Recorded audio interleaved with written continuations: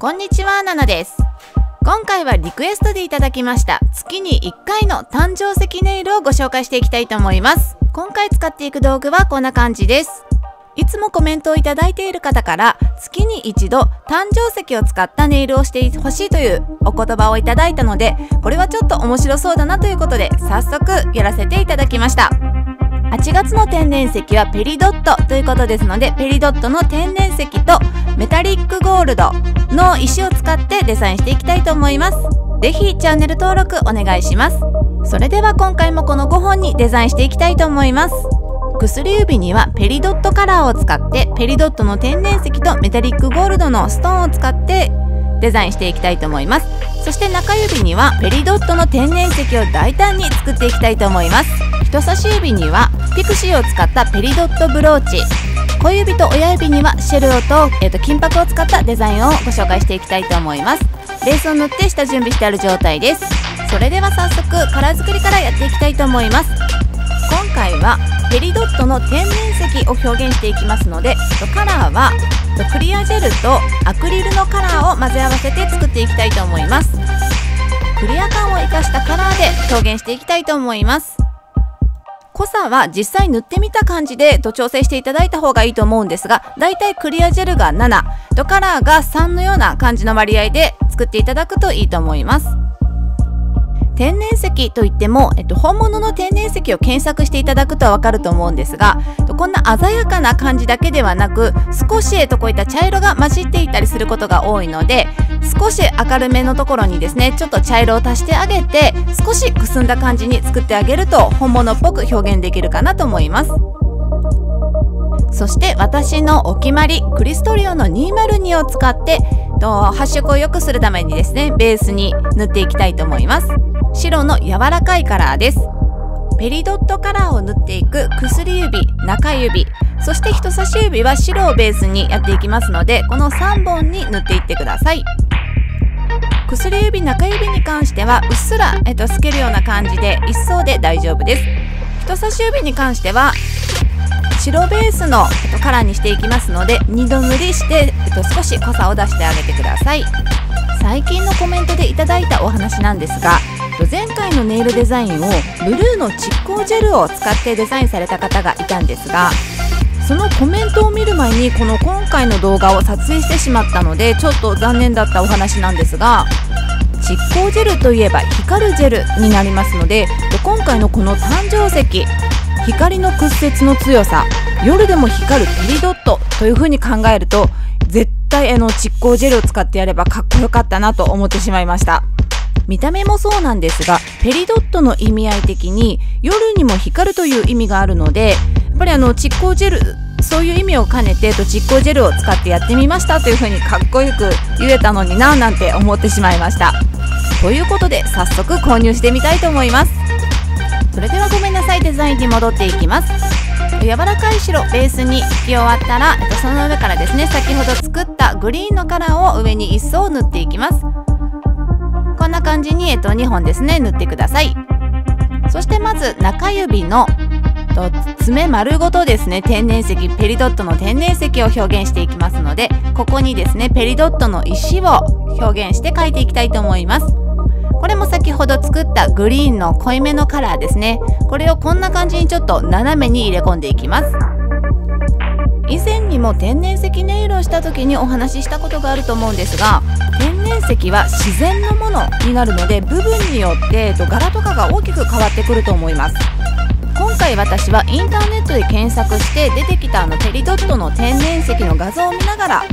このようにですねアートをしています。私が参考にした天然石は結構こんな感じで、と、斜めにというかあのこう流れるような感じの表現があったのでこんな感じにですね濃い部分と薄い部分を表現してあとはこうひび割れの部分ですねをこういう風に白これも大理石で、えっと、前にですねアートしたと思うんですが細い線で濃いめの細い白の線をこう濃い緑の縁をなぞるような感じで描いていただいてあとは筆で、えっと、上下に動かしながらぼかしてという風にひび割れのラインを描いていきます。そして、えっと、根元の辺りですね。割と白目の石からこうだんだんとグリーンになっていくような感じの表現のものだったので根元の辺りはちょっと白を強めに表現しています。そして天然石を作っていくポイントとして天然石はだいたいあの柄としては tie dye 柄とマーブルといったものをこうミックスしてあるような感じのものが多いと思うんですが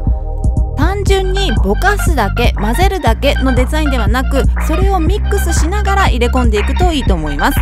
昔の部分もありつつ濃いカラーのところもありつつというような感じのデザインが割と自然な感じの天然石になってくるんじゃないかなと思います。では続いて柄を描き終わったらですね金箔を入れ込んでいきたいと思います。この金箔もですね私が参考にした画像の中に金箔がこんな感じで散りばっている表現だったので同じようにちょっと散りばめていきたいと思います。金箔の種類も今は割といろいろなタイプのものが出ていると思うんですがと大きく分けるとこう2つに分かれるかなと思うんですがこうくしゃくしゃなタイプのものと割とホイールに近いような金箔とあると思うんですが今回この天然石に使っていくのはクシュクシュのタイプのものを使っていただいた方が自然っぽくなるかなと思います。では続いて小指親指にですね金箔とシェルを入れ込んでいきたいと思います。まずは金箔を大きめにですねこうちぎって取っていただいたものをこんな感じにランダムに貼っていきます。なんとなくグラデーションになるような感じで入れていただくといいかなと思います。こんな感じにベースですね金箔置き終わったら続いてシェルを入れていきます。金箔の上に糊代わりになるクリアジェルをこんな感じにまず塗っていただいてシェルを置いていきます。今回使っていくシェルはと割とペリドットに近いカラーを選んでみました。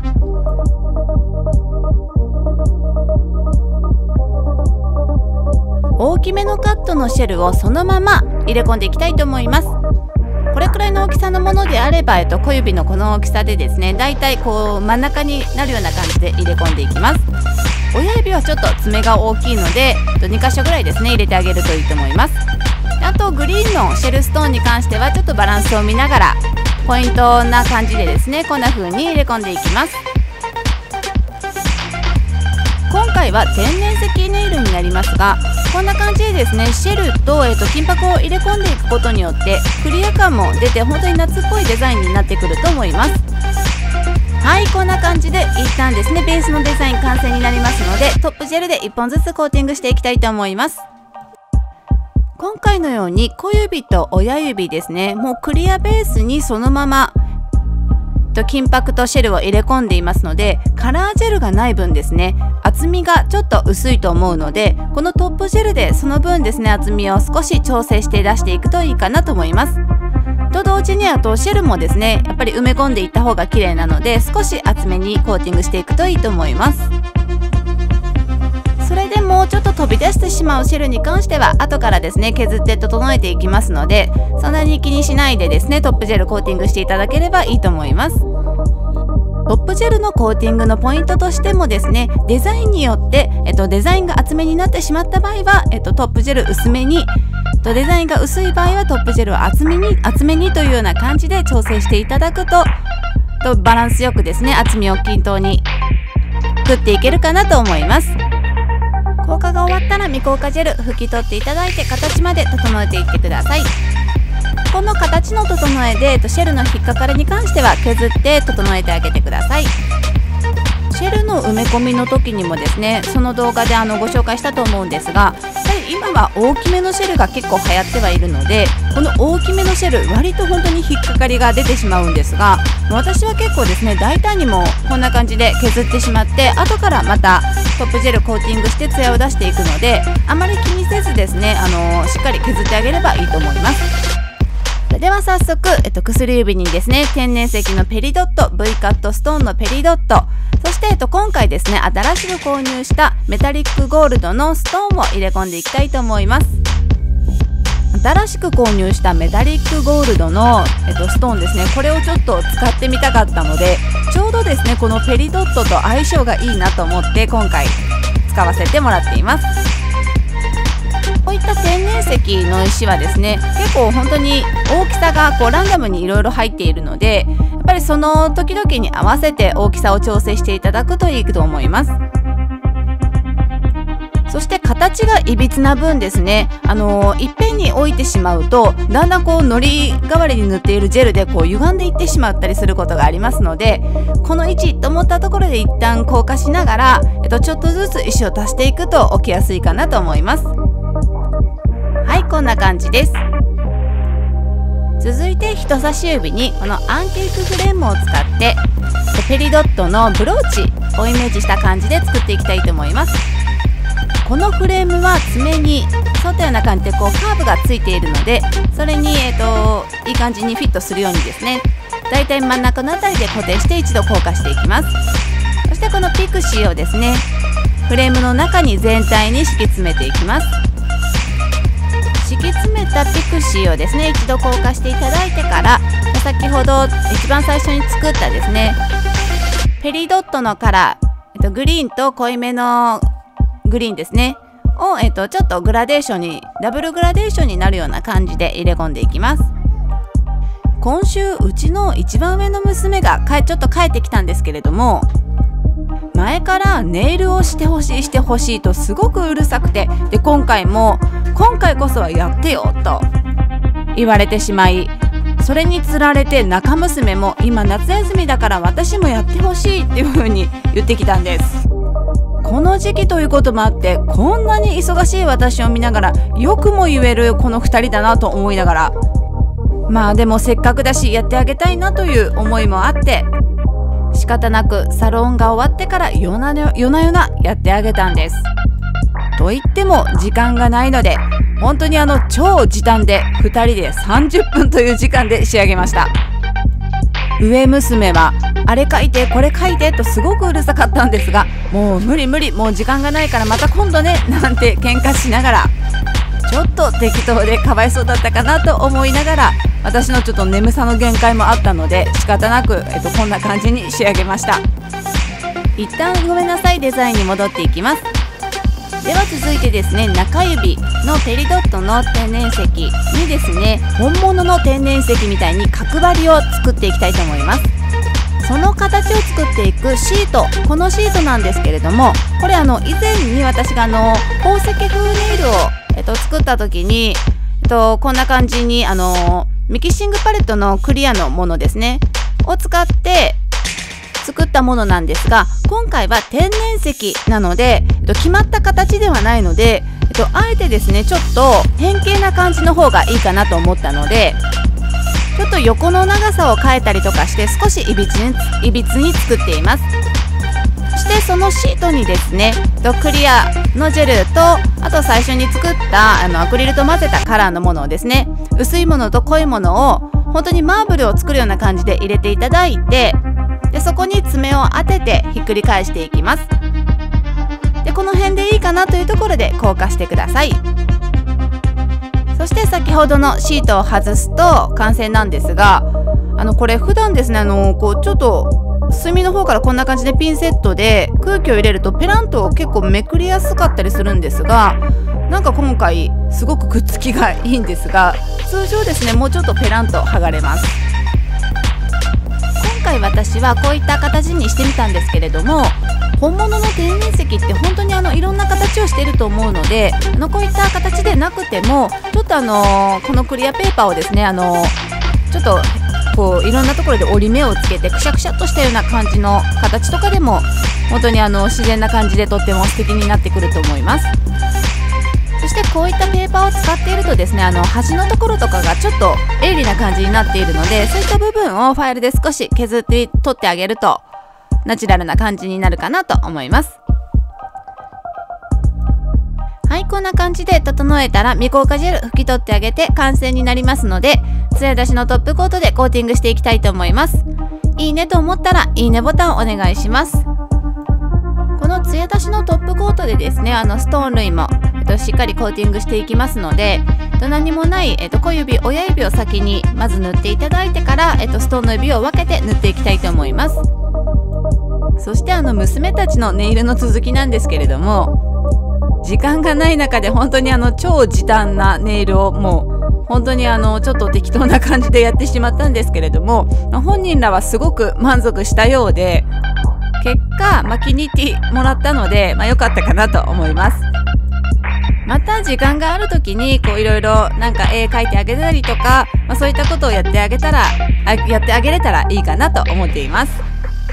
本当に子供たちって親の忙しさ関係なしに自分たち中心で物を言ってきますよね。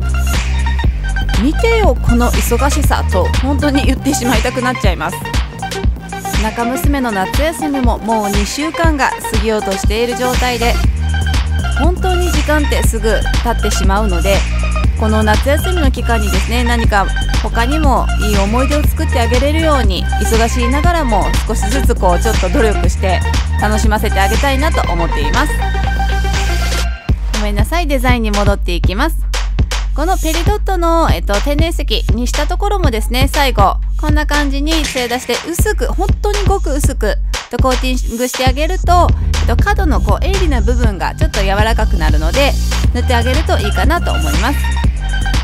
こうピシッとしたこうなんか切れている感覚の天然石をイメージしている方はとあえてこの艶出しを塗らない方が自然な感じに見える場合もあるのでそれはその時に合わせてやってあげるといいかなと思います。はいこんな感じで8月のペリドット誕生石ネイルの完成です。ペリドットの天然石を大胆に表現した中指。でその他にもですねペリドットのカラーをイメージしてこんな感じでデザインしてみました。少しでも参考になると嬉しいです。では早速今回もですねチップとして残していくために外していきたいと思います。こんな風にチップとして残していくことができたら前回の動画でチップを載せるところ実際のご紹介をさせていただいたんですけれども今回は特にですね本当にあの8月の天然石のペリドットのネイルになりますのでまた来年もですねこの時期にこれのチップをくっつけて楽しんでいくこともできるかなと思います。この本当にペリドットのカラーがですねとっても綺麗なカラーで